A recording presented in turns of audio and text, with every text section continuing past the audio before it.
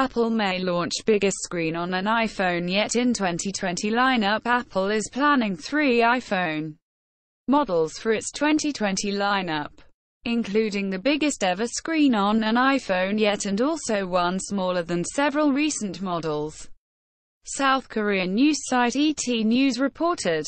Apple is reportedly planning to design models with 5.4-inch 6.1-inch and 6.7-inch OLED screens. Samsung Display will reportedly be the sole supplier of the 5.4-inch and 6.7-inch panels. Qualcomm forced us to sell modem biz at multi-billion loss.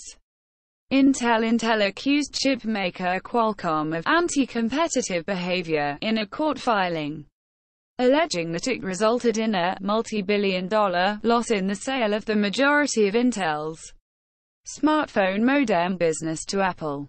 Intel noted that it counts itself among the list of competitors.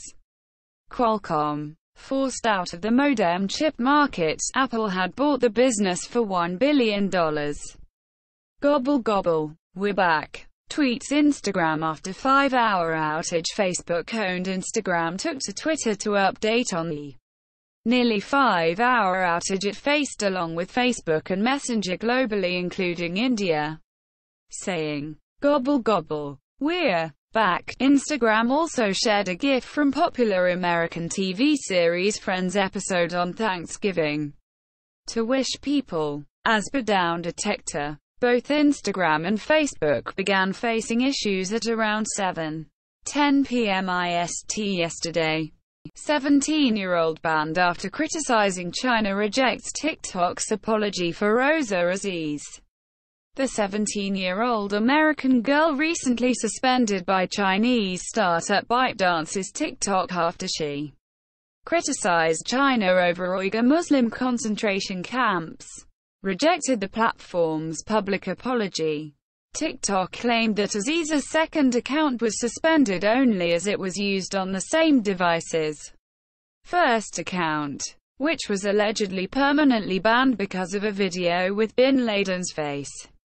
Huawei may sue U.S. government agency over latest restrictions. Report Chinese smartphone maker Huawei is planning to sue the U.S. Federal Communications Commission FCC, over the latest restrictions imposed by it.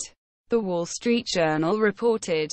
The FCC banned U.S. telecom carriers from using their Universal Service Fund to buy equipment from firms deemed a national security threat, including Huawei.